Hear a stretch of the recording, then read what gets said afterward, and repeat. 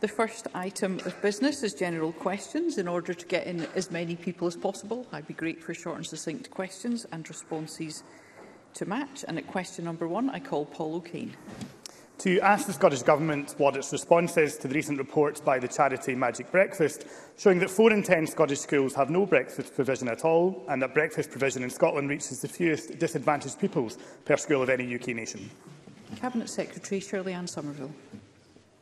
We are committed to the expansion of free school meals to all pupils in primary and special schools, as well as introducing free year-round breakfast and lunch provision to support eligible children and young people outside of the school term. Currently, Breakfast Club provision in Scotland is delivered through a mixed model of local authority, private and voluntary services, which may be delivered in school or within wider community facilities. Services often combine food provision with early morning childcare. We want to improve that picture and ensure that all children in primary and special education schools in Scotland have equal access to breakfast if they need it.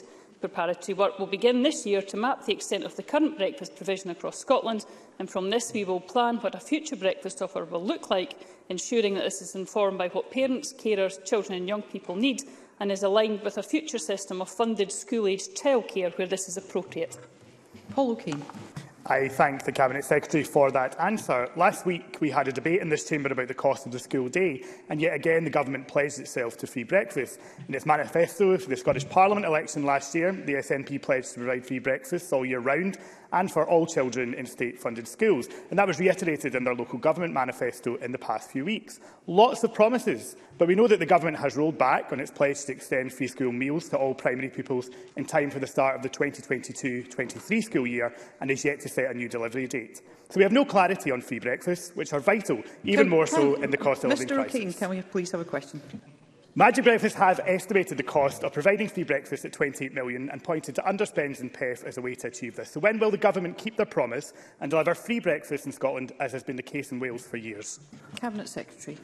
Uh, well, I'm not sure if Mr Kane is actually suggesting that we take money away from Scotland's head teachers that is given to them through the Pupil to Equity funding, um, because it is up to head teachers to decide how to spend that pay funding, and we believe in empowerment of schools.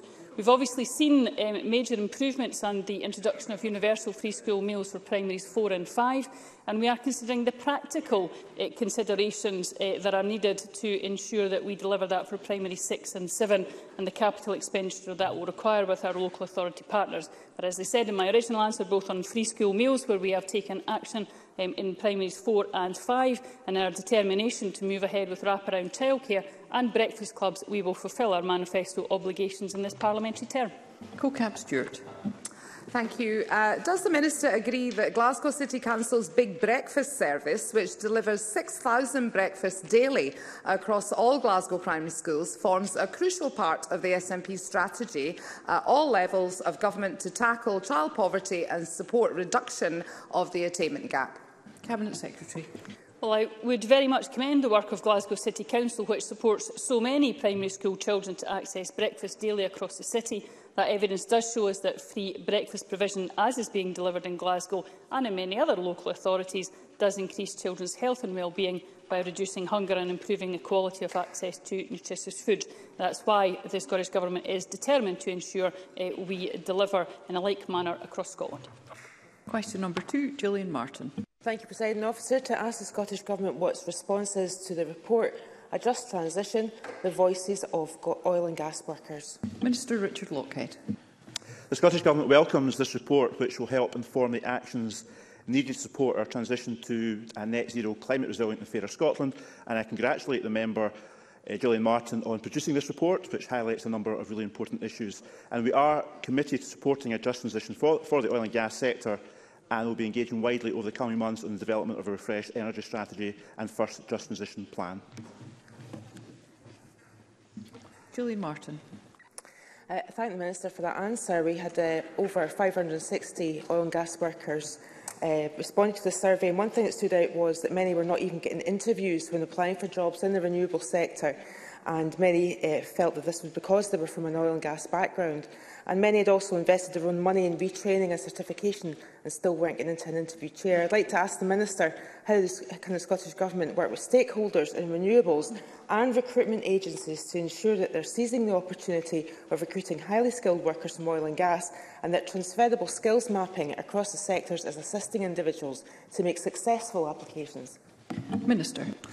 Um, I want to assure the member a lot of good work is taking place and, for instance, we're working very closely with the industry skills and training body, OPITO, who have their own integrated people and skills strategy which has three action plans below it, and one of those is focused on aligning offshore energy standards, for instance, and there's key milestones that have been mapped out with different delivery dates, with also the delivery of a skills passport in the third quarter of 2023. But many of the issues that the member raises are very important issues, and I will discuss these with OPITO and other stakeholders. Liam Kerr. Presiding officer. Yesterday, BP revealed it will invest up to £18 billion in the UK's energy system to turbo boost our energy security, our net zero ambitions, and ensure a just transition for oil and gas workers. Does the Minister agree that anything that could discourage and reduce funds available for that and similar investments and hinder the just transition that Gillian Martin rightly raises, such as the ill-conceived windfall tax, should be avoided? Minister. Um, I think the member should spend a lot more of his effort in trying to persuade his own government in Westminster to help ordinary people cope with the cost of living crisis. Uh, and in the meantime, this Government will continue to reflect the country's priorities and the priorities for a just transition to the North East of Scotland the member represents. Mercedes Vialba. Thank you. Um, this latest report reveals that just one in 10 oil and gas workers feel they have enough opportunities to switch to work in renewables. After decades of inaction from industry, what we need is ministers who will champion the interests of workers over market forces. We need them to hold industry to account for the promises that they make. So, will the Minister demonstrate his commitment to oil and gas workers by providing regular updates to Parliament on the progress of skills transferability? Minister. Uh, I thank the member for her question and I, I would gently point out, of course, that Greenpeace used the Scottish Government's Transition Fund as a case study of a successful transition. And I'm sure Greenpeace, like the member, believes a lot more that can be done to address this issue, and we will do that. In the meantime, I'm happy to consider how we can keep Parliament updated on this issue, but there's a whole lot of work underway at the moment to ensure that we can support oil and gas work workers uh, attain the appropriate skills and training they require uh, and support for that to work in other energy sectors. Question number three, Megan Gallagher. Thank you, Presiding Officer. To ask the Scottish Government what its position is on the transition to secondary school and flexi-schooling models for pupils with additional support needs. Cabinet Secretary Shirley Ann Somerville. We are committed to supporting children and young people at key transition points in their learning. The Additional Support for Learning Act places duties on education authorities to plan for the transition of children and young people with additional support needs, including, of course, from primary to secondary school. Education authorities are also responsible for identifying meeting pupils' learning needs and have flexibility in the delivery of support and curriculum to meet their individual needs. Further guidance on supporting transition and provision of flexible learning opportunities is within the statutory code of practice on additional support for learning. Megan Gallagher. I've been contacted by a parent council in the central region regarding the statutory six-month transition period for ASM pupils as this appears to differ between local authority area In addition, another parent from out with my area contacted me about the Flexi Schools model for ESM pupils as the local authority rejected her child's application without a valid reason. When I submitted questions to the Minister regarding these issues relating to ASM provision, I was given short answers saying that the Scottish Government does not record certain data for ASM provision, despite the Government setting the guidance for councils. So can I ask the Cabinet Secretary why the Scottish Government does not, does not properly record this vital information, and is it time to review ASM provision across Scotland to ensure our young people and families are supported? Cabinet Secretary. Well, of course, data is held um, in um, uh, many areas. Yes, it can be held by national government, but much of the responsibilities in this area is quite rightly for local governments, and there will be uh, differences between different local authorities um, on those policies. Um, and I think uh, that is uh, quite that, that's uh, right that that is the case. I'm, of course, happy Eh, to um, hear from um, Megan Gallagher um, in writing if she wishes to provide me with further details um, of the individual um, case, if the um, constituent would wish me uh, to have a look at that, to investigate um, if there's more that can be done um, at a national level um, on this. But I would, of course, also um, highlight um, that we have the progress report on the additional support for learning action plan that was published in November 21 and a further update will be provided in autumn 2022 and of course um, if Ms Gallagher has um, any further suggestions about whom, what more we should be doing in this area I would of course be happy to receive those in correspondence. Question number four, Fiona Hislop to ask the Scottish Government whether it plans to accelerate energy efficiency and other measures in the coming months ahead of a further potential increase in the price cap in October. Minister Patrick Harvey. Thank you, Presiding Officer. In March, in response to the cost of living crisis, we announced further help on energy efficiency through our existing programmes. We're including more people in our flagship Warmer Home Scotland programme, increasing grant levels in local authority area-based schemes and expanding the Home Energy Scotland Advice Service capacity to support an extra 12,000 households this year. And we do continue to explore further ways in which more people can be supported, building on our substantial programmes which have benefited more than 150,000 fuel-poor households in the last decade. Fiona Hislop. I thank the member, the minister, for that answer. And will the minister commit to do everything he can to take action before the next anticipated price cap change in October and to use his powers, however limited they are, to support people despairing of astronomical energy bill increases? uh, causing such anxiety and worry? And does he agree that the UK government must recognise that this is a cost of living and energy price crisis now and that the Chancellor saying it's silly to give more support on energy bills now is complacent and completely out of touch with the reality our constituents are facing? Minister. Uh, I, I do, and I suspect most of the Chamber agrees that the UK Government has failed to respond uh, both to the scale and the urgency of the cost of living crisis. The Scottish Government has written repeatedly to UK ministers setting out detailed proposals to act now to support households who are struggling today with further cost increases looming, uh, as Fiona Heslop rightly indicates, uh, in the autumn. Uh, these actions include the UK Government cutting VAT on fuel bills, increasing benefits, reinstating the £20 cut on universal credit and implementing a broad-ranging windfall tax on super profits. In the meantime, the Scottish Government will continue to do everything that we can, as well as increasing help through our major programmes of investment to make homes warmer uh, and cheaper to heat, which I just mentioned. Uh, in terms of the wider cost of living crisis, we've uh, increased the groundbreaking Scottish child payment and will do so again before the end of this year. We've committed to doing what we can to mitigate the benefit cap and implemented our pioneering free bus travel for young people. The Chancellor may think that measures like these are silly, but I think most people in Scotland will think that they are helping those who desperately need it. Question number five, Martin Whitfield.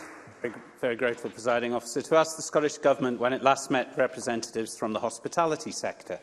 Minister Tom Arthur. The Scottish Government works closely with sectoral organisations like the Scottish Tourism Alliance, UK Hospitality, Nighttime Industries Association, Scottish Beer and Pub Association and the Scottish Licensed Trade Association. We engaged extensively with sector representatives over the course of the pandemic to respond to the challenges facing the industry and are fully appreciative of their input. The most recent, meeting with key representatives took place on 13 April 2022 Attendees discussed measures post-COVID-19, impact, support for the sector and planning guidance regarding outdoor spaces. We will continue to engage on support and recovery. Martin Whitfield. I'm grateful to the Minister for that answer. There are many different parts of the hospitality sector, but all are linked. The pandemic brought similar challenges to the whole sector.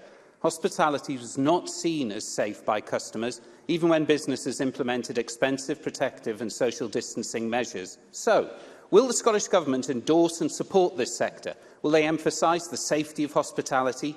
And will the Scottish Government commit to spending money on messaging and advertising to encourage people to attend hospitality events and venues and remove the fear but not drop the guard? Minister. Well, the member raises a series of very important points, and I would wholeheartedly recommend that we all take full advantage of our outstanding hospitality sectors right across Scotland. Um, since the start of the pandemic, we have provided over £4.6 billion support to business, including £1.6 billion of rates relief, including £802 million of rates relief in this current financial year. We also provided £375 million of business support recently in the wake of the Omicron variant, of which £113 million was for eligible hospitality and leisure businesses. Further, we have provided £80 million to local authorities for the COVID Economic Recovery Fund. So I think that demonstrates quite clearly the support that this government has provided to businesses across Scotland, including the hospitality sector. And I would fully encourage people across Scotland to use our fantastic hospitality service. Thank you. Question number six, Liam Kerr. Thank you, Presiding Officer. To ask the Scottish Government whether it will provide an update on the A96 duelling project. Minister Jenny Gilruth. The Scottish Government remains committed to improving the A96 corridor and will take forward an enhancements programme that improves connectivity between surrounding towns, tackles congestion and addresses safety and environmental issues. The current plan is to fully dual the A96 route between Inverness and Aberdeen. However, we have agreed to conduct a transparent, evidence-based review of the programme, which is already underway and will report by the end of 2022. Liam Kerr. I thank the Minister for that answer. The duelling of the A96 was first promised to the North East in 2011 And according to an FOI, £78 million of taxpayers' money has been spent so far on the project. Now, Green campaigners have said the latest move that we just heard about delaying the scheme by the SNP Green Coalition demonstrably represents the end of duelling the A96. Whoa. So will the Minister confirm that the A96 duelling will go ahead, or has this government scandalously wasted £78 million of taxpayers' money on something that a party with six MSPs has now blocked. Yeah. Minister. presiding officer, I think that's an inaccurate representation of the situation as it stands. We are not delaying the scheme. As Mr Kerr will know, the Butte House Agreement sets out that we will take forward a transport enhancements programme on the corridor itself. We've already undertaken substantial development work on the programme which tells us that drilling the entire A96 will involve substantial offline new roads, which essentially means changing the route of the, that part of the current road. Now, all roads projects in Scotland, including the A96 programme, are subject to a detailed review and assessment work to ensure we deliver the right schemes and keep impacts on the environment to the absolute minimum. And I'm sure that Mr Kerr will agree that the climate emergency necessitates that all governments, irrespective of their politics, ensure that future road building is not detrimental to our environment. Fergus Ewing. Uh, presiding officer, for the uh, information of all members uh, and their families, and indeed Parliament staff and visitors to the public gallery, uh, could I say that in my constituency, the beautiful coastal town of Nairn is a splendid holiday destination, which one may well choose for a staycation this year. And does the Minister agree that its attractiveness will be even further enhanced once there is the promised bypass and Jeweled connection with Inverness and that the Scottish Government's commitment,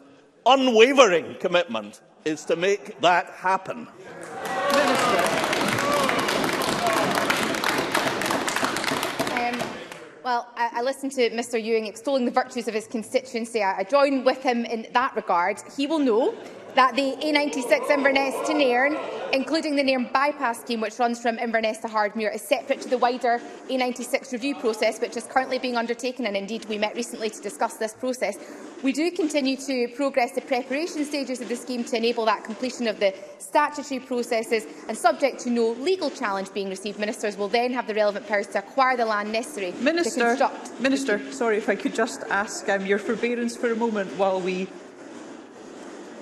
while we tackle this noise.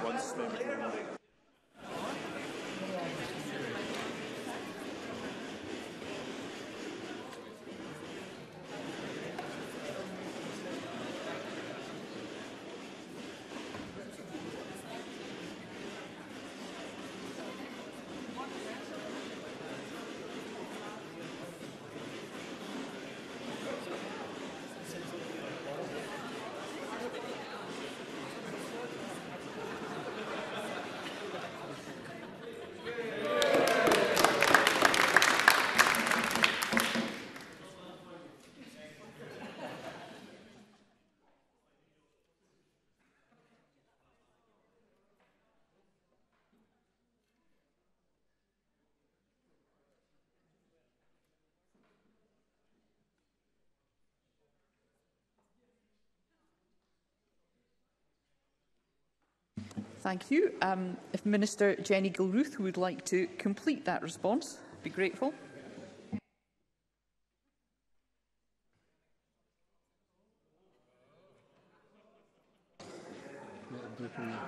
Yes. There will be a brief suspension while we investigate further.